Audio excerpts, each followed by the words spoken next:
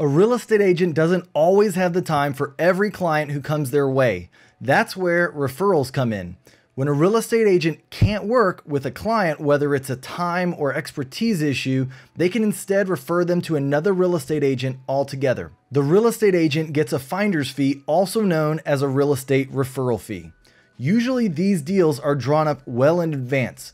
Over the course of your real estate career, you'll start to develop referral contracts with others in the industry. Sometimes a referral agent may just reach out to you unexpectedly with an offer. And it's not always another agent. Sometimes it's a third party system, such as an online service or another broker.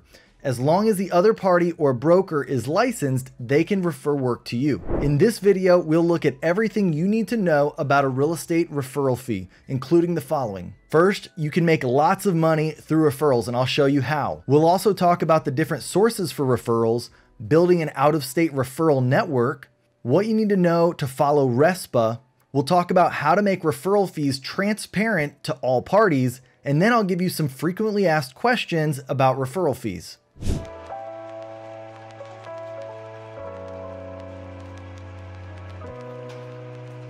What's going on, everyone? I'm Kyle Handy, a realtor and team leader here in San Antonio, Texas. I help teach other realtors, team leaders, and brokers how to grow and scale their real estate business through digital marketing, content creation, social media, as well as tried and true methods. And if you want proven strategies that you can use to get more leads, closings, and scale your team, you'll love this video. Keep watching. The first thing to know about real estate referral fees is that you can make a lot of money simply through referring business.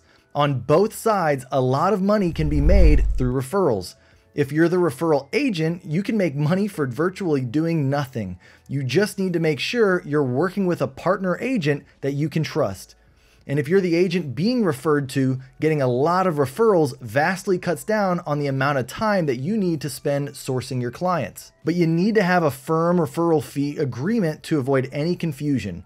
As a real estate agent progresses in their career, it's a good idea for them to already have a boilerplate referral agreement available should they run into this situation. A broker isn't always going to give someone a lot of work, especially when they are new to the profession. There are times when you just aren't the best person for the job, such as an out of state sale or a sale outside of your expertise.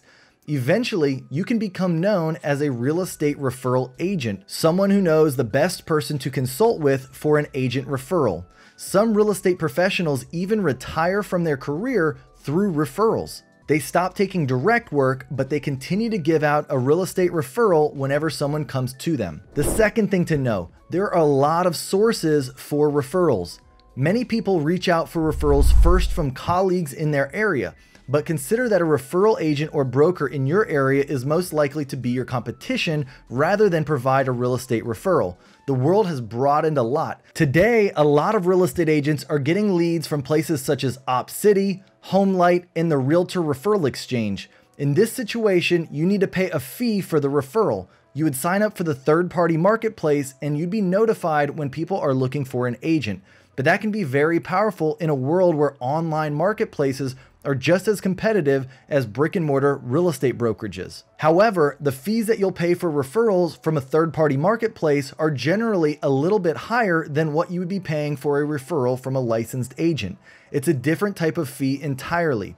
When you're trying to build out your career as a real estate professional, it may be worth it to sign up for one of these third party websites. You'll have to pay a fee, but you will get some practice and expertise from working these leads. Number three, building an out of state network helps. Today, a lot of people are moving, but what does someone do when they live in Ohio and need to purchase a home in California?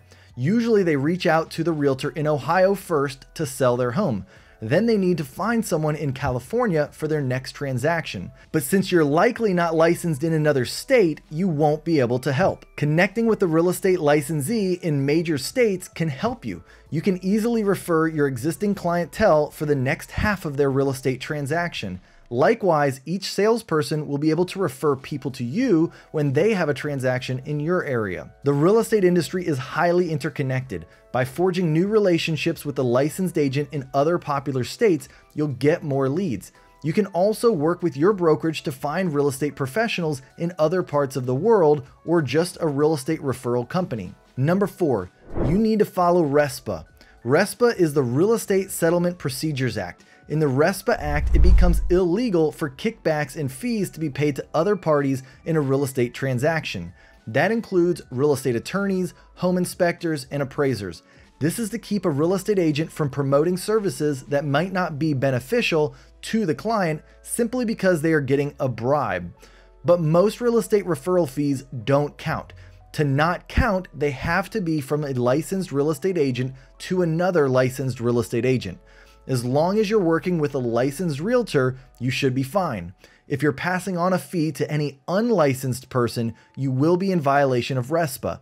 This includes real estate companies any licensed real estate broker cannot pay a referral fee to an unlicensed person or entity, including unlicensed real estate organizations. RESPA is designed to keep the closing costs from spiraling for clients, but it also means that someone who refers you business, such as a past client, can't be given a finder's fee, even if you want to reward them. And anything can count as a finder's fee as long as it has value. You also shouldn't be giving any big gifts to the people who refer you. Number five, referral fees should be transparent to all parties.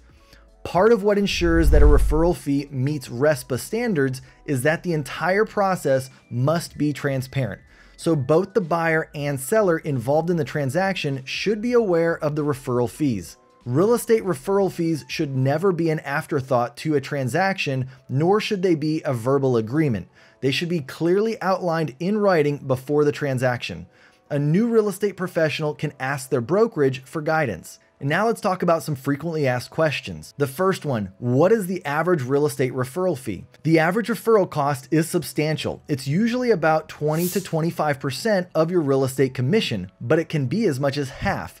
This can turn a realtor off to working with real estate referral fees entirely, but it's still more than nothing the realtor would get without the referral. Like other elements of real estate service, the typical referral fee can also be negotiated. It will be outlined in the contract between the referring and referred agent. Sometimes it can even be a flat fee. And if you're curious about how much commission the average real estate agent makes annually, check out this video that I did here linked above.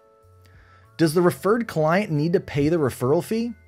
The referral fee is paid out of commission, just as fees to the managing broker would be. Technically, the referral fee is going to come from the commission, usually paid by the seller, but the commission generally doesn't increase to compensate for the referral fee. Are there referral fees in property management? It's rare for there to be a referral fee in property management. While it would still be a transaction between two parties with a real estate license, it's rarer for a referring real estate agent to get a referral for property management services. A real estate referral agreement can help make it clear, but as always, it is negotiable and a real estate referral agreement can help make it clear. Are there any differences for commercial properties? When a real estate investor goes to an agent who specializes in residential real estate, the agent will often refer them. Someone specializing in residential real estate generally doesn't work in commercial real estate, and the same is true vice versa. It can be a good idea for a residential agent to maintain a relationship with a commercial agent with this in mind the client will still be able to get what they want and the residential agent will at least become a referring agent. All right, so here are some of my final thoughts on real estate referral fees. Referrals are an essential part of the real estate business. Whether you're the one giving them or receiving them, it's important to be aware of referral fees. Well, if you like this video, make sure to subscribe to my YouTube channel right now. Just click on that subscribe button below this video. Also, hit that thumbs up button and give this video a like as it helps my videos reach more real estate agents looking to grow their businesses. And by the way, if you're interested in partnering with me at eXp Realty, head over to my partner page and check out the exclusive benefits that you receive.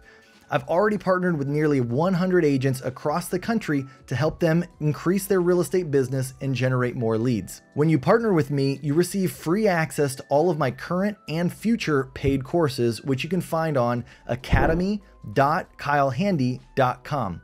Additionally, you get access to my private Facebook community called The Dream Team, where I go live multiple times per week head over to kylehandy.com forward slash partner for more information. And finally, if you've made it this far, I want to thank you. Type hashtag NCrew in the comments to let me know that you watched it all the way to the end. And now I want to turn it over to you. Let me know in the comments, Have you worked as a referral agent before or been on the receiving end from referrals from a partner agent? Let me know. Until my next video, be well and get out there and sell some homes.